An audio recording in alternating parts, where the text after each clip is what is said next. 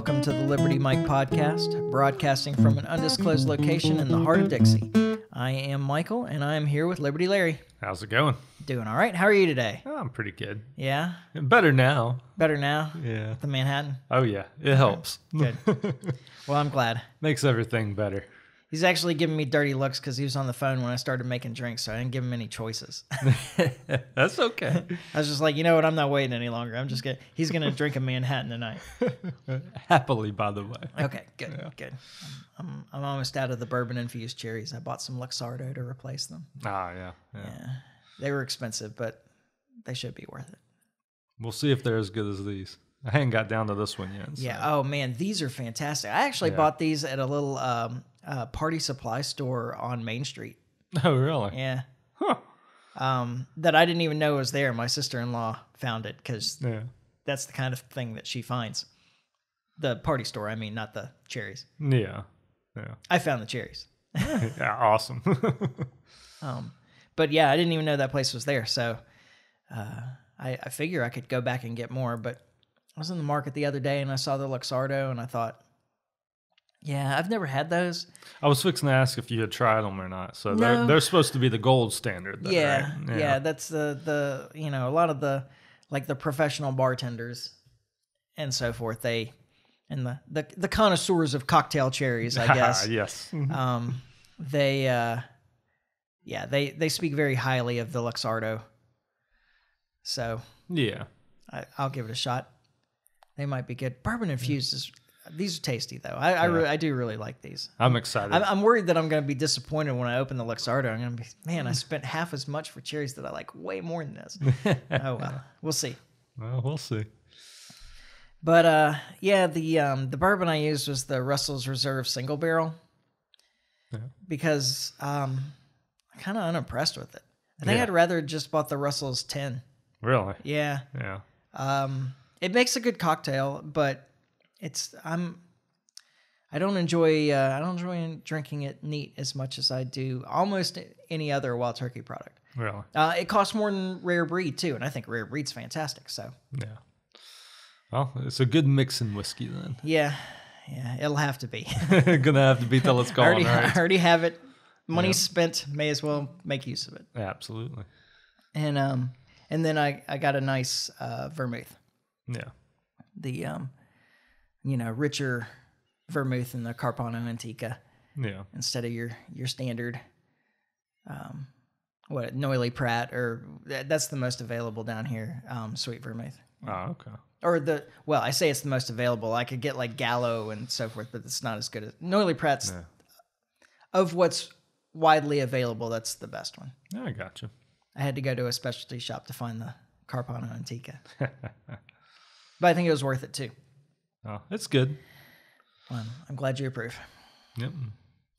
So, uh, having wasted three minutes now talking about the drink, um, Jeff, you can turn the sound back on. um, I don't know where you want to start. I actually, so I do, you know, we kept, we did talk a little bit about social media last time at the tail Yeah. um, of the episode, but I, I think that there's a lot. I think that there's actually a lot more to say, but I don't want to spend a ton of time on it because it's just, you know, different strokes, I guess. Yeah. Personally, I hate social media. I really do. Um, those of you who have tried to contact me regularly on Facebook know that I log in once a week to post this podcast, Yeah. and I'll respond to you then, and then you won't hear from me for a week until the next podcast comes up Yeah. um, because I don't log in. I don't, and and I have a Twitter account that I probably haven't logged into in five, six, maybe even eight years. Since um, Twitter became a thing. yeah, mostly. Yeah. Because uh, uh, so I did used to enjoy my Twitter account because um, because it's a, a curated feed. I was able to um, follow some news that isn't widely reported by uh, you know just by picking and it, most of it was like um, cosmology stuff and physics stuff and like a lot of science stuff Yeah. um, so I could follow like uh, NASA JPL and, and things like that and, and get news that I was interested in that isn't generally reported in mainstream media. Yeah. And uh, I really enjoyed that. But it was uh, somewhere along the way, my feed was just overtaken by stupid advertisements, Yeah. and and that's when I quit. yeah. Uh, Facebook's the same way. Um, and I, yeah, I mean, I don't get on There. I don't even look at my feed on Facebook. I just look at messages. your yeah messages and like notifications Mm-hmm. yeah um, no i get on there and check it a little bit but it's gotten very frustrating and and since i still get on there but i don't get on there near as frequently as i did before the ads kind of like took over Yeah. Um, the podcast actually has an Instagram account. Uh, you're welcome to follow. I think we've never posted a single thing, I, I haven't posted anything on there but but the podcast has had an Instagram account for I don't know four years or something. yeah no I mean, we uh, truthfully like if we're we should have made some use of it. Like um, we should have you know posted pictures with Scott Horton or, yeah or Jacob Hornberger or Yeah. you know and stuff Tom from the Woods and or stuff from you know, the something. conventions Yeah, and that yeah. type of thing i mean there's a use for it like it has a place That's true. It, but I, I haven't at all. yeah Um, you know, Michael Maharrey, we- like that would have been fun. Yeah. Um, like I had a really great conversation with both of the Michaels from 10th Amendment Center at the 2018 uh, convention. It would have been cool to get a picture of the three of us, yeah you know, and, and Tom Woods hanging out in the background. He he was there. He just wasn't really much participating. I don't know why.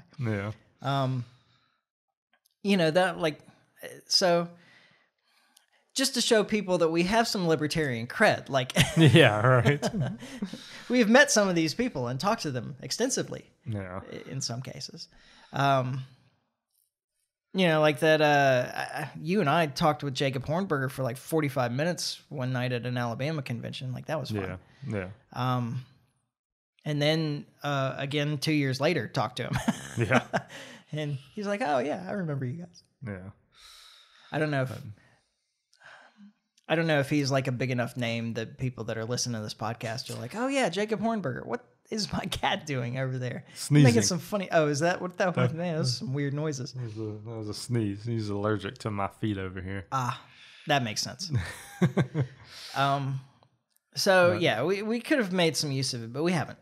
And uh, but I, I think that there are. I, I think that a lot of people think that the whole social media thing is just kind of harmless, and I don't think that that's correct. Yeah, Um, especially when you're talking about younger people. yeah, because I I can like I'm kind of unaffected by it. Like Yeah. I, I grew up at a different time, and so I don't know. Th- Well, and you just and you haven't been sucked into it because that's true, too. You you did grow up in a different time, but even people that like you didn't grow up with this and aren't accustomed to it, um, for the most part, have all been sucked into it. yeah, Um, I mean, I don't know. I mean, I know people that like that are like you that just aren't participating, Mm-hmm. but there's not a lot. yeah.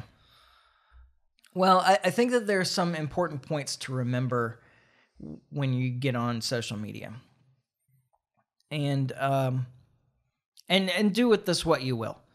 Uh, the first and I think most important point is that is to remember that you are the product, not the customer. Yeah, Okay, because I think that this is a very important point. This is, this speaks to how these platforms are designed. yeah, You're the product, not the customer.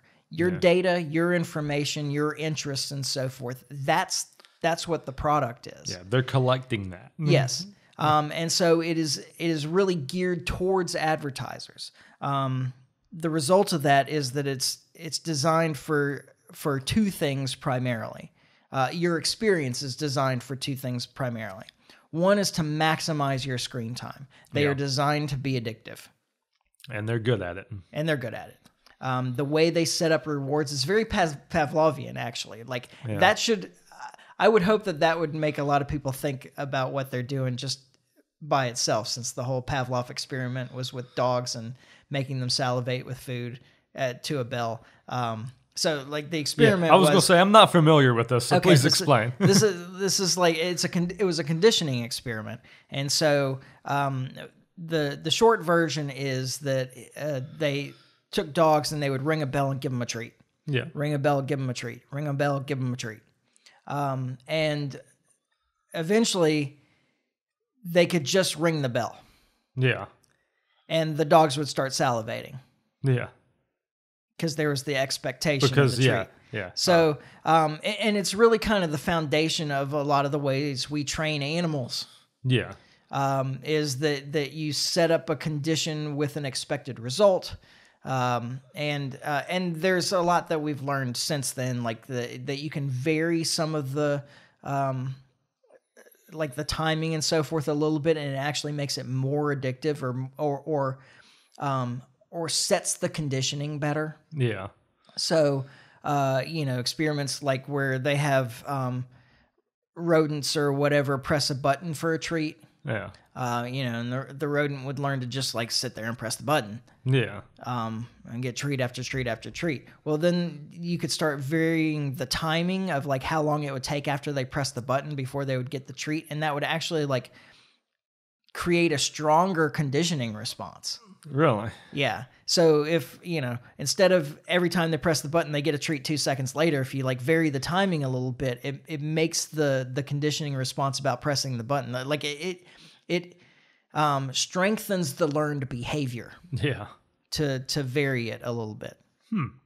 Um, and then there's like uh, good and bad too. So um, like you know, one of the things that they've learned over time is that eh, on the whole, um, good stimuli and bad stimuli are equally conditioning. Yeah. Like either one is is just as effective as the other in conditioning, but um, the responses to positive stimuli and negative stimuli are slightly different in that the the learned response to a positive stimuli is slower than the learned response to a negative stimuli. Okay. All right. So you react more quickly to a negative stimuli than you do to a positive stimuli. Yeah. You can see where this would be adaptive Yeah. like in the line Yeah. in, in the history of humanity. Yeah. So, but the result of that when you get onto these social media sites where it's um it's a machine or an algorithm that's set up to elicit responses Yeah. is that the machine learns more or less that it gets responses quicker if it gives you negative stimuli Yeah. right so that that's part of why these these platforms end up being so toxic is because the algorithm is just seeking a response Yeah. and the response happens quicker to negative stimuli so it essentially you're training the algorithm just through your like through the natural your human actions, response yeah. to give you negative stimuli Yeah. um and so yeah that leads to the to the other thing that they're it's designed to do and that's to be manipulative Yeah. i mean it's designed to be addictive Yeah. and it's designed to be manipulative Yeah. um, to change your behavior to to elicit a specific kind of response Yeah. um, so just be aware of that when Yeah. you're when you're on uh, when you're on social media that you're the product not the customer Yeah. Um, and that uh, it is designed to be both addictive, addictive and manipulative Yeah. and um, and it's gotten really good at it Yeah. No, that's for sure. So then the the customer, of course, is is advertisers. Um, you know, this is the way the business model is set up, and so uh, the manipulation generally is to try and get you to purchase a product or service. eh, You know, Yeah. over time. Um, now it doesn't. That doesn't stop actors from using the um, social media to elicit different kinds of behaviors, Yeah. like to get you to vote in a certain say way, to get you as to, an example. Yeah. Yeah. That, that would be the one we hear the most about. Yeah, to get you to feel a certain way about specific policies and what what have you. Yeah. Um, so That's why Russia had spent so much on the troll farms, right? exactly that absolutely, you know, had to get Trump into office so that he could, yeah. you know, put a bunch of sanctions on Russia and so forth. Yeah. um, to make sure that nobody believed that he really was a Russian agent. That didn't work out for him either. right. Um, I mean, you there's uh, there's a sense in which like his own social media, Trump's own social media addiction has uh, affected, um, has probably affected his personality in the being just like really um, combative or uh, incendiary in his tweets to elicit responses. Yeah. Um, you know, he gets a lot of negative responses. I think he he rises to that, and uh, and occasionally he gets a positive response, and he definitely rises to that. Yeah. So, you know, I I I, I kind of wonder if he'd be the same person if it weren't Yeah. for Twitter. Yeah. If he wasn't able to just like, yeah, say crazy stuff and get a response. Yeah, yeah, to to be focused on. Yeah. uh, in that way. Um, now, as for uh, like how it has affected people's outlooks, um, there, I mean, you know, there's no proof of causation here, but there's definitely a correlation between the rise in use of social media and um, rise in levels of depression and anxiety uh, throughout society, but especially in younger people. Um, there is a strong correlation between the rise in social media use and the rise in teen suicides. Yeah. Um, and and if you think about like people's experience, it kind of makes sense because it's it's easy to feel inadequate when you're looking at a curated version of somebody else's life Yeah. right? Like you're you're not, you know, we all have the ups and downs, the the vicissitudes of our own lives. Um, but when you're looking at somebody's social media feed, your friends or peers or whatever, Yeah. like they're not showing you all the bad stuff. Yeah. You're only seeing the stuff that they're putting up there for you to see. Mm-hmm. And so it's it's real easy to think like, oh, that person has such a much better life than me. Well, not even bigger than that. You look at it, you go, you start scrolling through your feed, and it's everybody has so much of a better life than me. Right. Like it's that because that's just if if that's all you're kind of taking in, mm-hmm. you know, that's that's where your that's where your mind goes. Yeah. Whether consciously or like subconsciously, it may not even be like a conscious thing, but like that's you're still putting all of that in. You know. And you couple that with an algorithm that has learned that it gets uh, the response that it's seeking more easily or more quickly if it gives you uh, something negative. If it if it makes you mad instead of making you happy, um, you know that I don't know. I, I I don't. I'm not opposed to social media. I li- I like the idea of social media. Well, I think in the same way that I like the idea of a cryptocurrency. yeah. Um, You, you like it, you just don't use it. yeah, With both of those things. yeah um yeah absolutely Th- that's absolutely true but but there's a reason that i don't use both of those things Yeah. uh it, it's not I, it, again it's i like the idea i like um i like what it could be Yeah. not what it is Yeah. Yeah. Well, and with social media, I think it's really just a balancing act. I mean, I, I don't think, I think you not having any isn't exactly great, but I think having too much is not great either. Um, I think it's it's just like a lot of things in life. You just kind of got to find that balance. well uh, i think that um that not having any kind of uh, okay so it's, e- even like a small amount of social media it's like an interruption Yeah. You know, like it, it just draws attention away. Yeah. I, I mean, I, like I leave my phone in the other room all the time. Yeah. I like leaving my phone in the other room Yeah. because then I don't hear it ding. Yeah. Um, I don't hear text messages. I don't hear emails. I it, because it's peaceful. yeah, because whatever it is that I'm doing, when something happens with my phone, it splits my attention. Yeah. So now suddenly, whatever it was that I was doing, I I'm um I don't know. My attention is divided, and now I'm curious. Like, what is it? What? It's that same kind of dopamine hit, Yeah. right? That you get from uh, likes and um, thumbs up and whatever else on social media things. Like, oh, you know, somebody's engaging with me, and they're engaging with me, uh, and that feels good. Yeah. it, it does, but at the same time, like it makes me less productive. Yeah. Yeah. Um, it, I think, uh, and I I wonder, especially people who have grown up with it, Yeah. like how capable are they of actually concentrating and, and devoting their attention to something Yeah. for any period of time?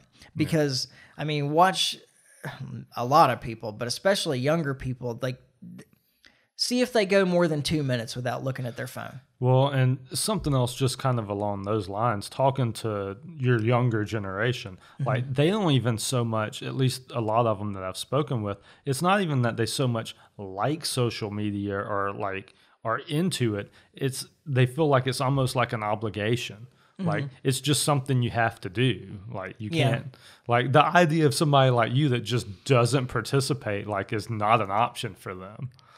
Well, I'm sure that it seems like I- Well, I'm sure it for- feels that way to them. I, I'm sure it does because But- Mm-hmm. the environment they're in, like I mean, that's where all of their peers are at. you Yeah. know?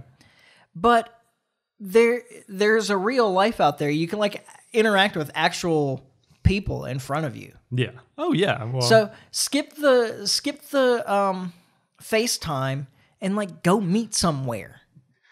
Oh yeah, and I think And even you know what? You're gonna have a better experience that way anyway. and I think a lot of the a, a lot of young people understand that, but at the same time, it talking to I mean I have two daughters, so like I mean this this comes up. Um, but it's almost like there's an obligation. Like even if you're doing all the other stuff, like you're saying, going out and doing stuff and that type of thing, you still it, it's it's like they feel like they're being left out of part of society if they're not there. You know Yeah. um, even if it's not something they particularly want to be a part of, you know. There is a real danger um, that I, I hope people can recognize because I don't, I don't think I have like the the ability or the psychological understanding to explain it. But um, there is a real danger of uh, your image being dictated by others. Yeah, like your image your self image Yeah. being dictated by others which i think is what social media really does to people.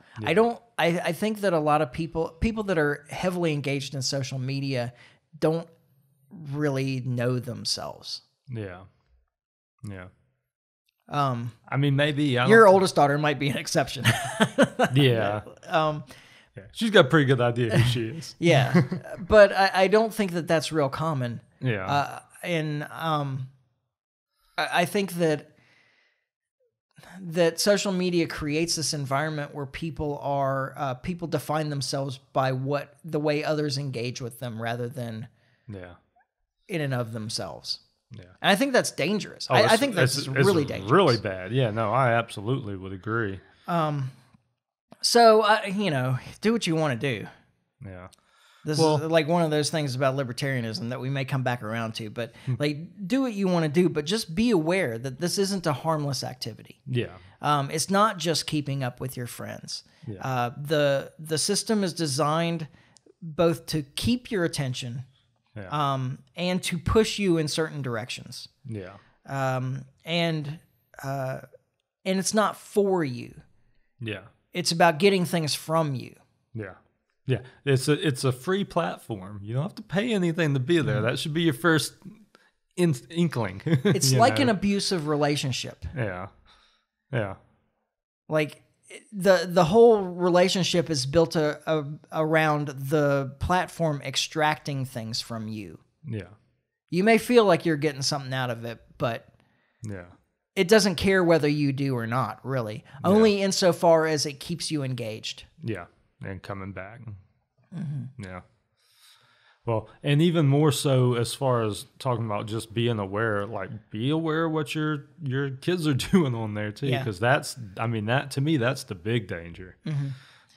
And uh, like I said something about FaceTime, I, I don't feel like that kind of thing is as bad. I don't think like texting with your friends or or Yeah. FaceTime or any of those things that are that are actual social Yeah, activities Yeah. um, are the same as scrolling through Instagram, scrolling through Facebook, TikTok, TikTok, video, video, video, video. yeah, It, it's not the same, and um, and w- I mean, I don't, I don't think that the like constantly on the phone texting or whatever is great yeah, either, but it's certainly uh, I, I, far less dangerous, I think, than just um, Yeah. Spending all day scrolling. yeah, Yeah. Yeah. yeah. Um, especially because it, and I think that it's obvious why. Um, it one of those reported feelings is a feeling of isolation to people that are um, heavily engaged with social media. Yeah. Um, that they're interacting with all these people, but they're all alone. Yeah. Yeah.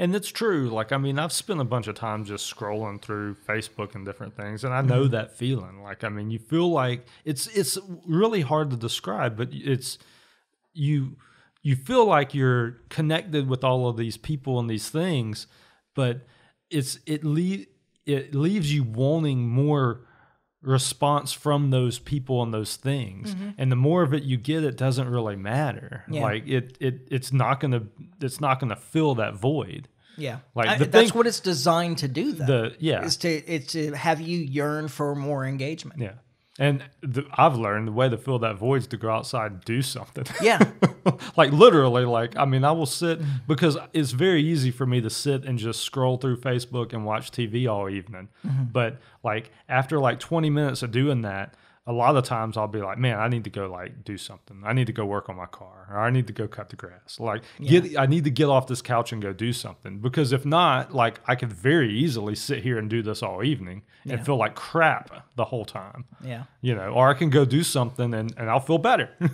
I remember one of the things that, and um, and you may remember me talking to you about this when we first started this podcast, is that I had a concern that I would get, um, really wrapped up in the number of downloads and the number of likes and the number of shares because I know I have that kind of personality to get addicted to that kind of thing. yeah um, and uh, and I like have really pointedly tried to avoid paying much attention to that kind of thing. yeah yeah Um, because, Because I you- because, because you I am that guy. in. Yeah, I Yeah. am that guy. Absolutely that that could have become the podcaster who I upload it tonight. I check tomorrow how many downloads have we had. I check the day after that how many downloads have we had. Oh no, we have less than last week. Oh, you know, Yeah. why are why are you know why aren't people engaged in this one? What have we done wrong? Like how do we fix it? You know. Um, yeah I was actually reassured a couple of weeks ago after the uh, hetero spirit podcast that we didn't really get any significantly more engagement yeah with that title because I felt like, oh, you know, if I, I, I know myself well enough to yeah to know that if I had seen significantly more engagement with a title like that, that I would be intentionally trying looking to come for up, those titles yeah, with a Yeah. with an incendiary kind of title that yeah to draw people in. Yeah And so, thank you guys out there for not feeding into that. you saved yourself for more incendiary titles Yeah. so now I got now there's people out there listening going, how do I make him? How do I make more engagement on that kind of title so that we hear?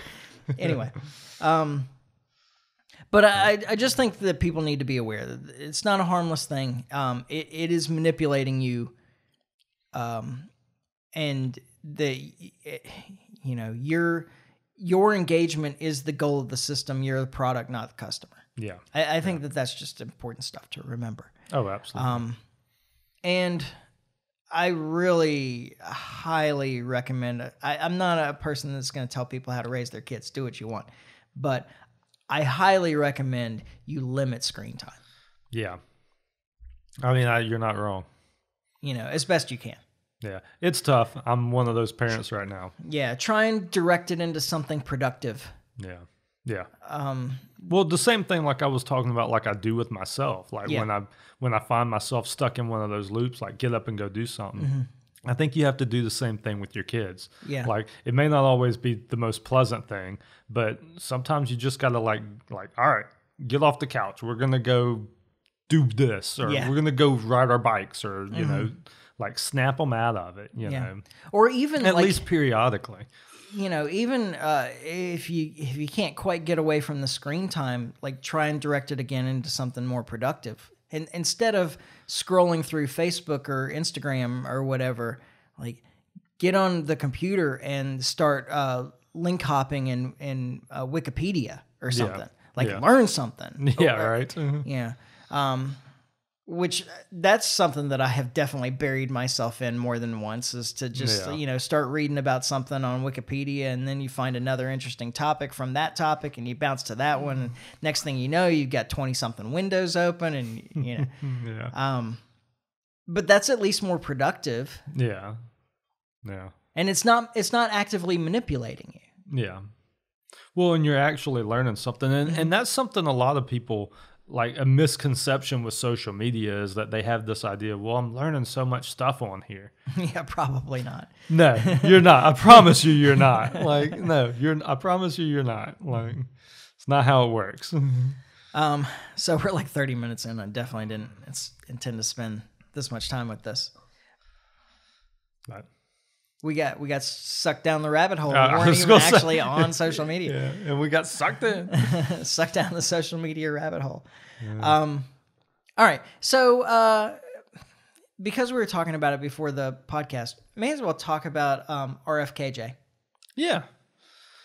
So, and I'm gonna uh, my lead into this is gonna be um, that I have a friend that I got a text message from the other uh, like a week ago, maybe now, um, talking about oh, you know, RFK Junior's joined the race. Uh, you know this uh, what do you call it? Nutcase Yeah. RFK.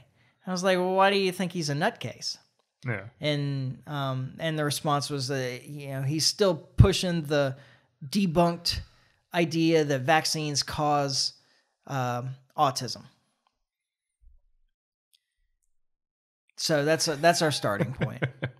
I didn't really argue with him too much. I, I just I, now the point that I made to him is, and I said, you know, I may be wrong about this, but my understanding about RFKs, uh, RFKJs, I'm, I'm trying to use all four. Yeah. Um, RFKJ's uh, uh, position on vaccines is that they that um, some of them contain um, mercury uh, or aluminum or other like dangerous Heavy metals. heavy metals and chemicals that Yeah. you know that can cause harm Yeah.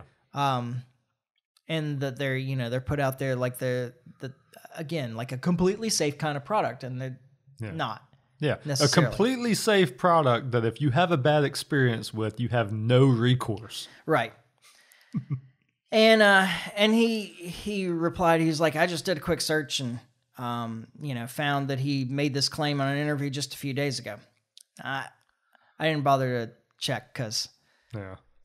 I don't care enough Well, frankly. But um, I I wondered at the time if if it was the ABC interview because I I'm aware, although I haven't listened to it, yeah. I'm aware of an ABC interview where they made an announcement.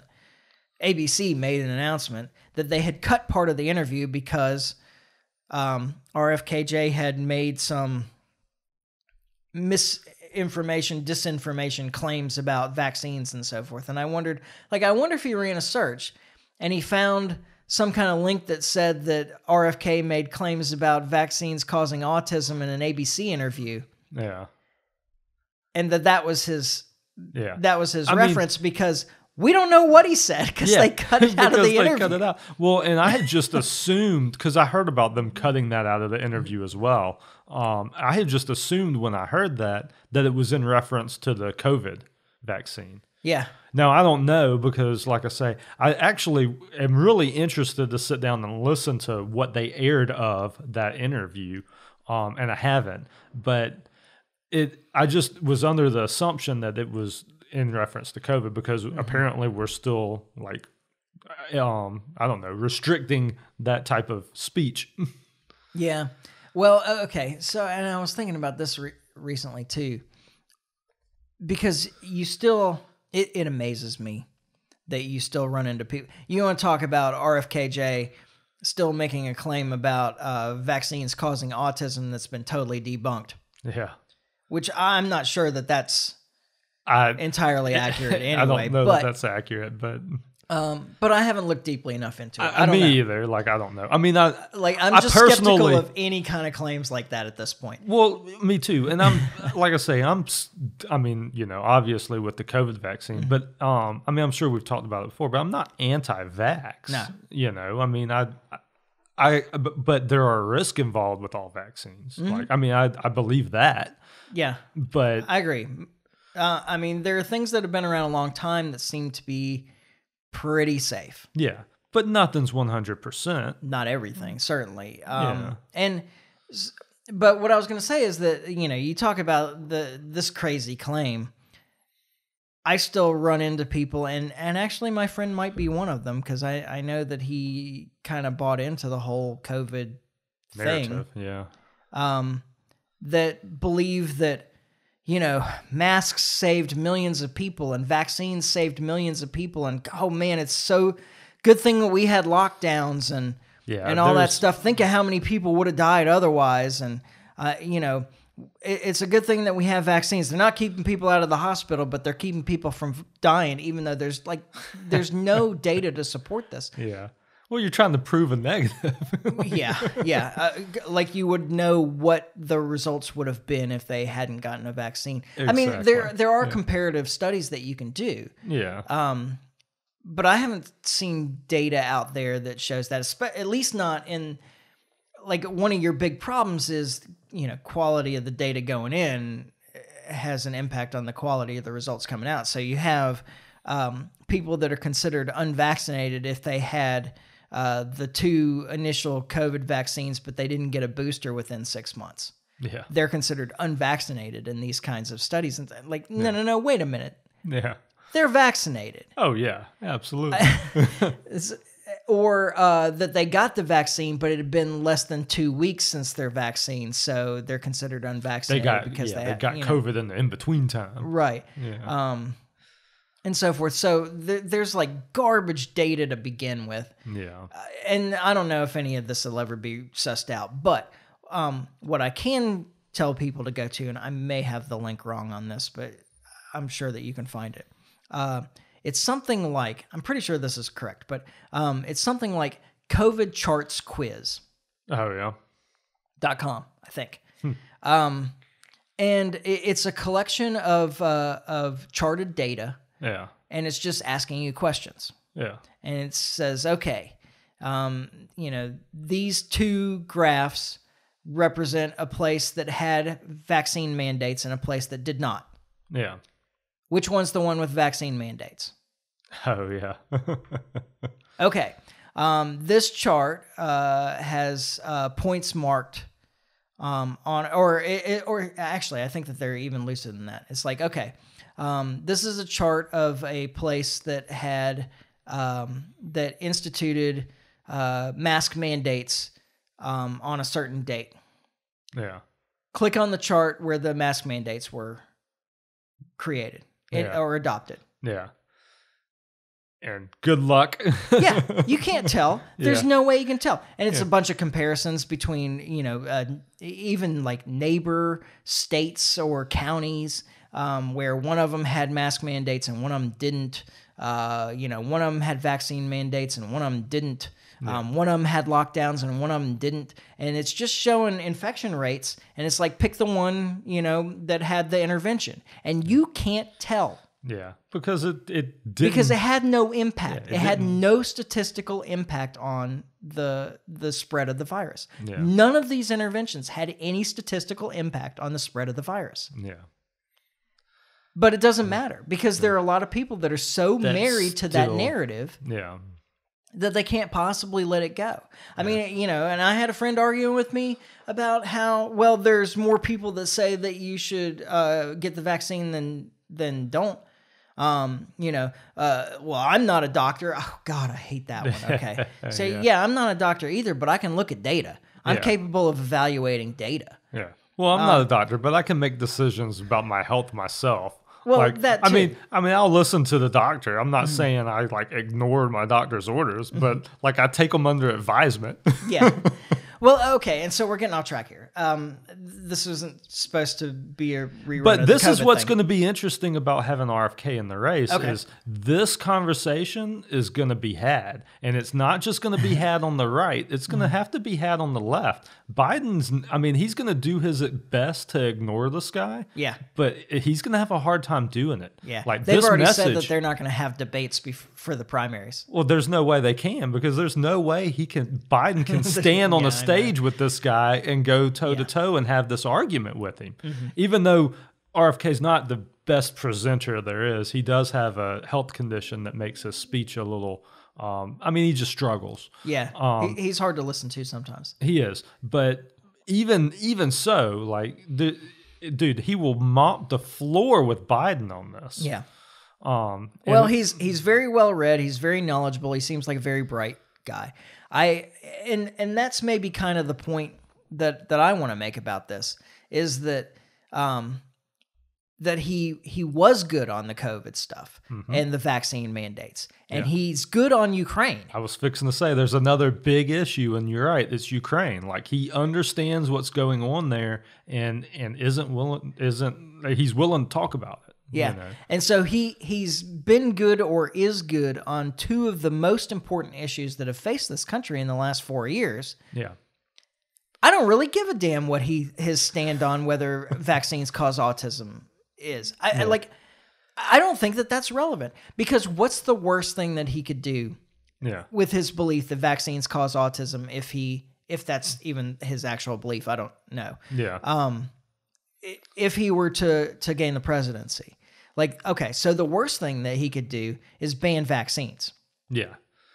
But I don't think that's the direction he's going. I don't- because yeah. everything else that he he presents comes down to uh, like he seems to be a person that really believes in personal liberty and personal responsibility. Yeah. Like for you to make your own choice, that he would take away mandates, Yeah. that he would take away the liability shield um, that these uh, pharma companies enjoy right now. And that would be Um, a big one. That would would be enough to get him assassinated. Yeah, yeah, like I mean, I hate to say that, but yeah. I the mean, third Kennedy assassin. yeah, I mean, Um, you may be looking at that though because you don't want to mess with big pharma, man. That's true. Like, I'm just You ever saying. seen The Constant Gardener? Man. I I haven't. It's but, it's not a movie for everybody, but it's probably worth seeing. yeah. Um, same guy that did City of God, by the way. oh, really? Yeah. Interesting. Any anyway, I I think that um, I think that his position on that leads to a more uh more free and open society rather than a more authoritarian one. Yeah. And so I'm not really concerned about that. Yeah. I I I- think that it's a big step um, to have somebody like that. You kind of have to wonder if he doesn't believe or at least have an inkling that the government that he's trying to take Control of. take the lead in is um, the same government that uh, killed his uncle and maybe his father. you know, like that's kind of a weird thing. That's got to be a red pill thing. Uh, Oh, yeah. So, but that, but that's what I think is the most interesting thing about him is that he doesn't believe in the infallibility of government. It's very clear that he doesn't believe in the infallibility of government, Which is- or that government can solve all the problems. Which is interesting coming from a Democrat. yeah, Like because well, it's that's more. not it's an old style Democrat. yeah. Um, he's he's a Democrat more in the vein of his father and his uncle. Yeah, yeah. Well, I think it's going to be interesting having him- in the race. It's going to create some conversations that absolutely wouldn't be happening if he wasn't in the race. And like I say, I don't want to start placing bets, but don't count this guy out, man. Um, I mean, for one, he's a Kennedy, so like that alone gives you some street cred right there. Yeah, And I don't like that either, but whatever. I don't. I mean, I don't particularly like it, but it gives him something to American aristocracy. Yeah, I mean it's it, it it's there though. It Yeah, exists. That's true. Um, and and like I say, I- I'd rather have the the Kennedy um. Dynasty than the Bush or the Clinton dynasty. Well, yeah, so, especially at this point, especially with no I mean kidding. Mm. this particular guy. I mean, I'm sure I disagree with him on a whole host of things. Yeah. Um, but at the same time, it it'll be interesting to be having this conversation in in this election. Yeah, well, and that's one of the things that I was saying is like, you know, truthfully, like his position on um, on vaccines is kind of irrelevant to me, just in the face of his position on Ukraine. His position on Ukraine is enough for Yeah. me to say, well, I'm discounting the rest of that. Yeah. Yeah. I mean, it's an important enough of an issue. I mean, it's the same thing that I did with uh, Tulsi. Tulsi, Yeah. which is, hey, you know, you want to at least stop fighting the war for the terrorists. Yeah. You want a fifteen dollar minimum wage? Well, you know what? I can deal with that to stop fighting the war for the terrorists. exactly. so, you know, and I- I'll I tell you, and is this is something that this is one of those moments too. I think where we may get to see like just how much the mainstream media still has control on things, mm-hmm. because what what he's going to do is he's going to go out and do small media. He's going to do podcasts. He's going to be doing interviews with different small groups. Um, and I think that it'll be interesting to see if he can get some headwind, especially given the message that is outside the mainstream. yeah, he's al- he's already got like twenty percent among Democrats. Uh, yeah, I mean that's Like he's already polling at like twenty percent among uh, on Democrat only or Democrat voting only or whatever. yeah, Um, which, I mean, that's that's I mean that's something. I mean you Yeah. especially if you look on the other side where the Republicans are at. Mm-hmm. Um, I mean you've got like DeSantis and Trump, and then everybody else is in the zero and one percent. yeah, you know and for him to i mean he's on the other side but for him to not be at zero and one percent says something. I bet he's pulling higher than uh, Kamala. you know he is you know he is so this or is somebody um, or uh, Gavin Newsom. oh yeah so you think they're gonna roll out gavin newsom I don't know. Um, I think that they're probably desperately trying to find somebody instead of Biden. oh there there's no question about that um and he just seems like the logical answer. I think that that's bad for his career. I think if he was smart, he would say no, thank you, yeah uh, if it's offered to him. Um, but he just seems like the most obvious. yeah well they don't there's One. not much And I think that he's ambitious enough and not smart enough to realize that he should wait. that he should step out yeah give it a minute yeah. Um, it's interesting, but there's just nobody else on that side. Yeah. I mean, like you, you, you're still hearing the Michelle Obama's name keeps Yeah, rolling around. Wait till Hillary comes back, man. Yeah, Um, uh, Hillary again. Like, there's just nobody on that side. Um, I, I think that the, they would be smarter, you know, pushing somebody like an Elizabeth Warren Yeah, this time around. yeah, but that's not going nowhere. Yeah, she's she's a terrible candidate too. Yeah. You're right. There's not they don't have a lot of options. Actually, Kennedy is like one of their best guys. Like that's somebody that people would get excited about. Yeah. Um, but he's just like he's presenting He's the wrong too message. far outside of the mainstream for them. Yeah. Um, and and I hate using that word mainstream. I've done it twice here, and I keep catching myself because I think these ideas are more mainstream than than people think. Than the media wants you to believe. I'll put it that way. Yeah. like these ideas are definitely more mainstream than the than the media would have you believe. But Well, uh, okay. So on a really rough transition here, we've got about ten minutes for our main topic. all right, let's let's squeeze it in. So it came up just uh, with the um, with the attacks on immigrants by immigrants recently. So it just you know just kind of the the question of immigration and and so forth. Um, Build the wall. and and what I think is fun about this is that you and I have different positions on this. Yeah. Uh, you know, a lot of people complain about the. Uh, well, I say a lot of people. A, a few people complain that there's only one point of view presented on the podcast most of the time, which is true. Yeah, we Uh, have an agenda. We are libertarians. Yeah, we, we have an agenda here. There's a there's a purpose to this. Yeah. Um, is to present these ideas. Yeah, it's it's one opinion, but it's opinion that you don't hear very frequently. I think. yeah. Um, so that's kind of the the the point of this podcast is to present um, these ideas that a small percentage of the population has that are the best ideas, Yeah. But most people don't hear. But you don't hear about 'em. Beca- because Yeah. you can't get people outside of the statist paradigm. Yeah. And this is one of those topics where I can't get you out of the statist paradigm. And uh, so, you know, there there's the the starting point is like okay, so um, my assumption when the the guy ran the truck through the um, the immigrants at the bus stop was that oh, you know, it's somebody who has bought into this idea that the um, immigrants are coming in, foreigners are coming in here and they're stealing our jobs and they're destroying America and they're sucking away all the money and, you know, whatever. That um, tired old narrative is. Yeah. And because none of that is true. Yeah. um, but then it turns out it was it was actually an immigrant that did it. Yeah. And so then the next thought was, okay, so maybe it's somebody who um, who came into this country illegally, like an immigrant that came in the right way and spent the ten thousand plus dollars that it took to do it, and so forth, and is and is resentful of the people who are cheating the system Yeah. and still getting the benefits. Yeah.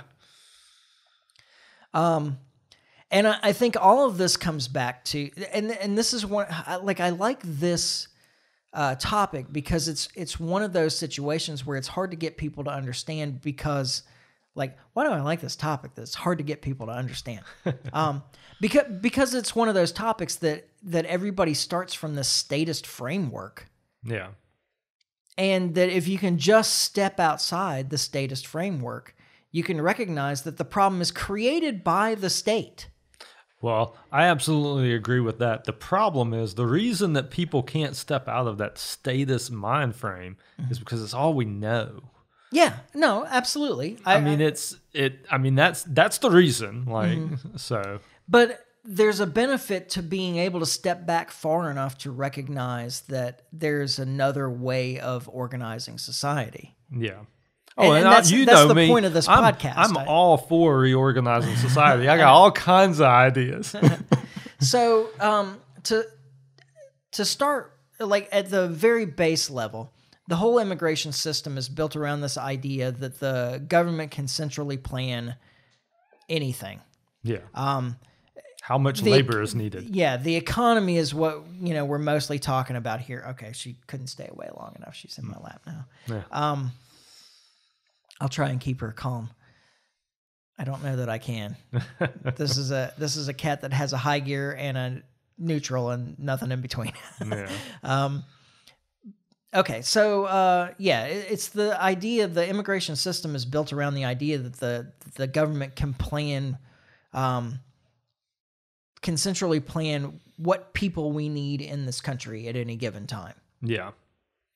Which they're completely incapable of doing. Yeah, I mean, and I would agree with that. Like, I mean, I'm I'm a not an open open borders guy, but Mm-hmm. I agree with the fact that the government doesn't know what we need as far as labor and and how many people we need. Like, that's that's Mm-hmm. not. Uh, yeah, they they're not capable of that. Okay, so maybe we should do this. And what do you think should be done? And I'll just respond. I mean, I to me, what the the the system I would have in place mm-hmm. would be a system where you would you would you would come over through a sponsorship. So if you want to come to this country, if you're coming from Mexico or wherever it is, it wouldn't even necessarily have to be Mexico, but you mm-hmm. want to come to this country from another country, somebody would need to sponsor you to bring you over. And it as and their responsibilities in the sponsorship would be they're going to help you find a job, they're going to give you somewhere to stay, they're going to get you on your feet when you get here. Okay, what if that's an employer? Is it okay for that to be an employer? I employer? do think that that's okay to be an employer because I think if, if a company decided, um, whether it's a group of farmers or it was Walmart, if they decide, well, we need some people to come over here to do work, well, I mean, they're going to help. They would they would be helping you at least as far as making sure you had a paycheck. Yeah. And then maybe you've got to figure the rest of that out on your own as far as where to stay, or maybe they put you up in a hotel for like a month until you you know can make arrangements for somewhere to live. But I think there should be some the idea that we just let people run into this country with no um with just no plan or anything they just show up here and now they're on our streets like that's a problem like and it doesn't matter to me what i mean it's it like i mean you just go to your border cities of this country and they'll tell you like this is a problem like people just flooding in here. Um and i think that that a system like that a sponsorship system would would fix a lot of that. Um, I, I like that as a stepping stone. Um, I uh, would say that you know the problems that arise from immigration are uh, problems that arise from too much government. So, um, people just being on the streets and so forth because they can't find jobs.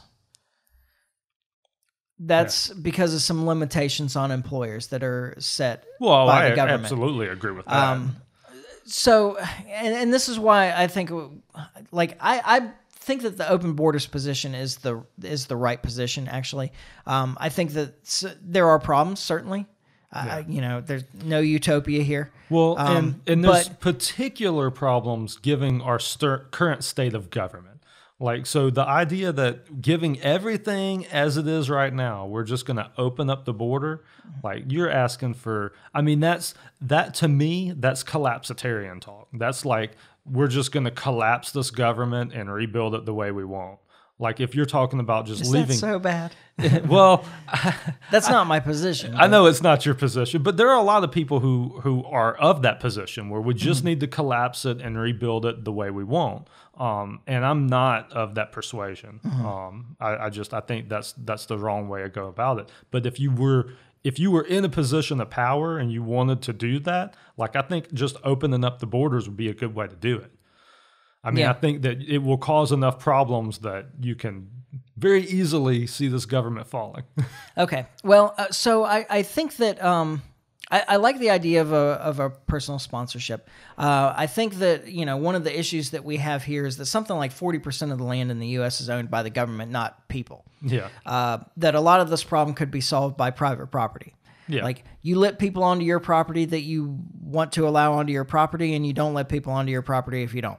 Yeah. Okay. Hey, so I'm, all, I'm all for that. if the whole border was private property, then um, people would only be able to go into places that that permitted where they them. were allowed. Yeah. Yeah. Uh, so you know that that's a, a again a problem of government. Um, in terms of employment, like the the the old story of that they're stealing our jobs. Yeah.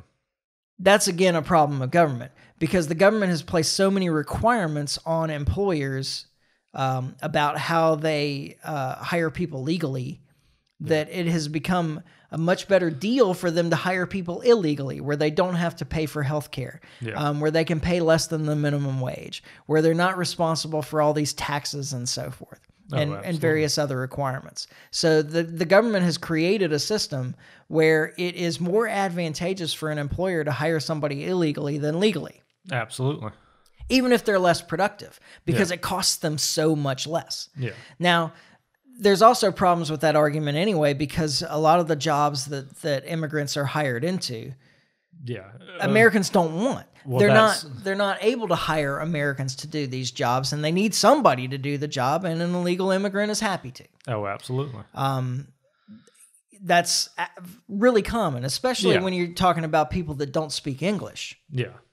Well, uh, and that's that's like just you just think about like farming jobs out like picking and and planting. Mm-hmm. Well, we had a huge problem here in. Alabama years ago when they uh, when they really cracked down on illegal immigrants working. Yep. and there were a bunch of crops that just like died in the field. Yeah, because you can't find Americans to do those jobs. Like they're Mm-hmm. just not going to do them. Like Yeah. it's just what it is. Um. Now, you know, so if you get rid of besides the fact that the the government placing the responsibility for health insurance on employers Yeah. um, has created all kinds of problems in the healthcare system. Oh yeah. You know, and one of those things is well, now you're beholden to your job because you can't go to a new job and start over, especially if you have any kind of uh, medical condition. yeah. because you can't go somewhere not else with on the their pre, insurance, yeah, the yeah. early, you know, um, pre-existing conditions issues and so forth. Um, besides the fact that it's, it seems to me at this point that it's clearly more expensive this way. Yeah.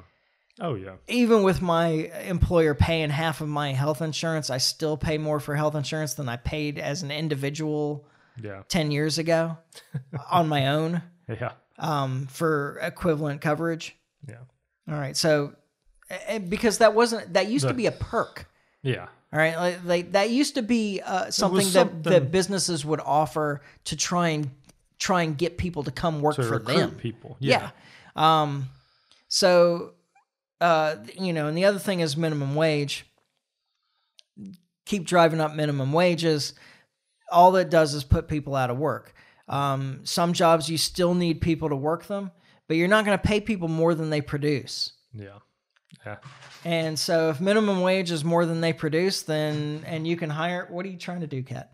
Um, then you this is why we used to do this in this other room where it was closed off and we didn't have to deal with the cats. yeah. Um, you know, um, if you can't hire somebody to to produce as much as minimum wage is, then it's better for you to hire somebody off the books, pay them under the table, and pay them less than minimum wage to get the production out of them. yeah.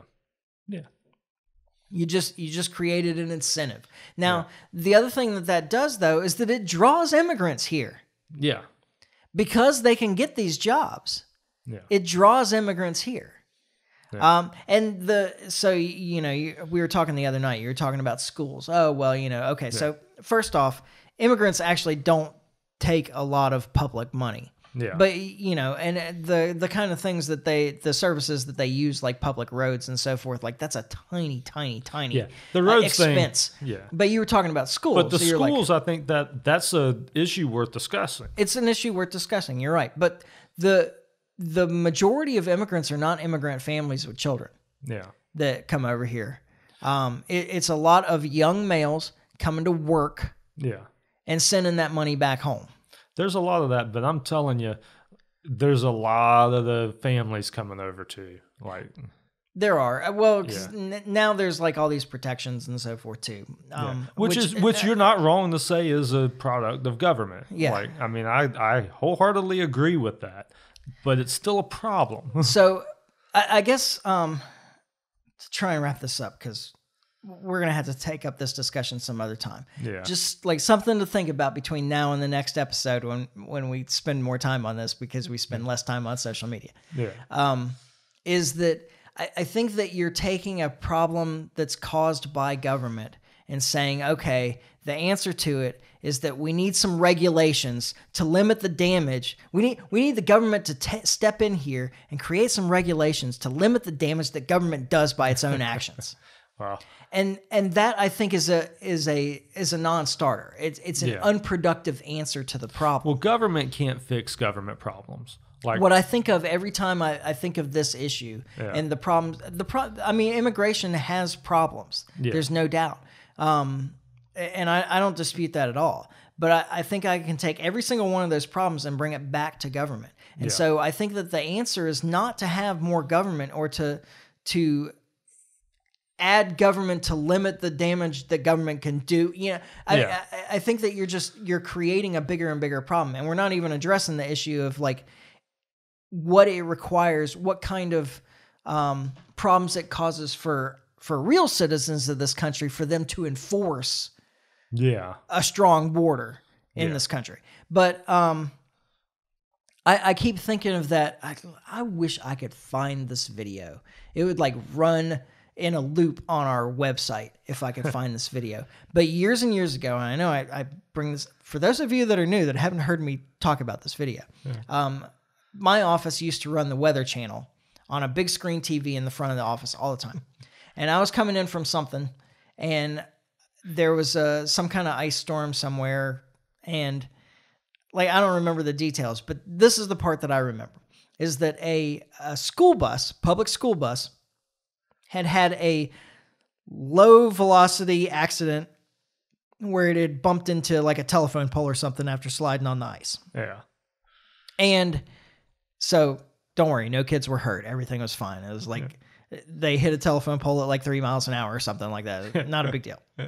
Um, but then the the calls go out. Yeah. Right. So then a um, a public service ambulance arrives. A, a, a county Yeah. a, a county ambulance service arrives and slides on the ice and bumps into the back of the school bus. yeah. And then two cops, to, two police cars arrive Yeah.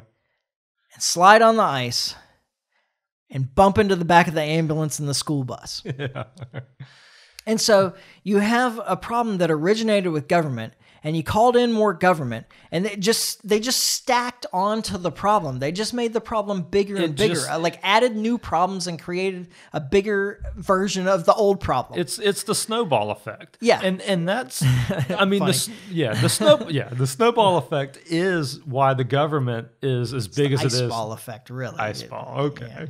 well, at any rate, um, it's it's an effect. It, that's what you get when you ask for government. Like you may start with the smallest government ever, but in 200 years you're going to have the biggest government ever because it just gets bigger and bigger and bigger. Yeah. Like it's just it's yeah. I mean, it just perpetuates itself. So I, I think um, government interventions to try and limit the damages of uh, immigration are an example of this. Yeah. Um, and like one more point to think about, and we can flesh this out more next week.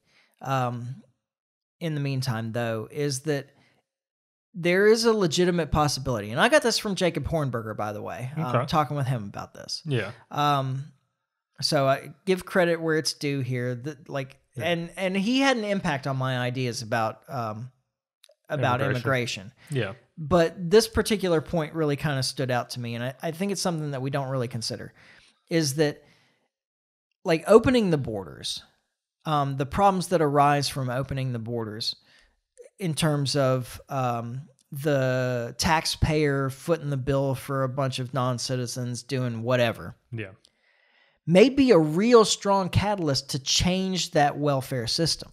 Yeah. Because when the taxpayers start are, start realizing that they're responsible for this, Yeah. you know, it's it's that not in my backyard kind of response where they're like, Yeah. okay, so now they're starting to put pressure on their representatives to end all these these various welfare systems that they're that they're paying for non-citizens to take advantage of. Yeah. It, it could be a real catalyst in changing our general reliance on government. Period. Yeah. It may not, Yeah. but but there is that possibility, and Yeah. and it can't be discounted because there's there is a real strong like when people start feeling the expense of something themselves when it when it starts hitting on their own pocketbooks Yeah. and they're seeing it out in front of them, there is it's far more likely that they will realize that what they have been advocating yeah. is not beneficial to anybody, particularly them, Yeah.